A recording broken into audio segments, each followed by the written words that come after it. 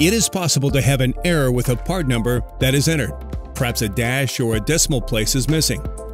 In this case, an error message will show providing two options. You can use the option of having the customer service team check the part number, and a team member will contact you. Or you can allow the system to provide suggestions that may be the exact match to the part number you're looking to quote. In cases where the quantity being quoted is high, MISUMI Online has flexibility in selecting your ship date.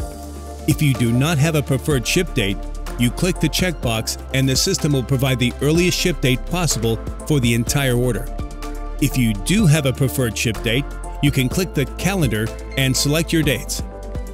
For partial shipments, you can input the quantity you need the soonest in the quantity box of step 2 along with the date you need them in the preferred ship date box.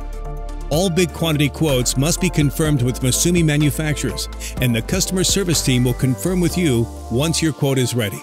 Explore MISUMI and create your account at misumiusa.com.